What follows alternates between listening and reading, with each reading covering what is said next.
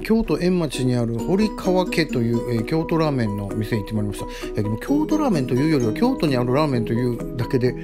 こう京都ラーメンの特徴的なものは、えー、あんまりないのではと思うんですけれども、えー、店内これぐらいのすごい綺麗な、えー、店でございます。で名物って書いてあったのをまず行かないとと思って、え、肉そばの中680円行ってまいりました。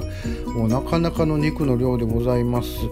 で東京東長崎にあるあの立ち食いそばの日本そばなんですけど立ち食いそばの、えー、肉そばが有名なところがあるんですけどなんかそれぐらいのイメージの割とあっさりしたえー、日本そばでも合いそうな、えー、スープでございまして、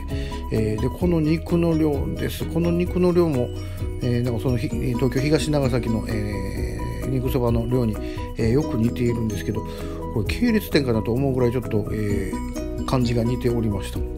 で麺は、えー、ストレート麺で、えー、ちょっと固めで言ったので、えー、硬いんですけれども、えー、は美味しかったです。本当にあっさりとしているので、え、まあ、特徴がないと言われると、え、そうかもしれないですけど僕は割とこういうの好きなんですけどね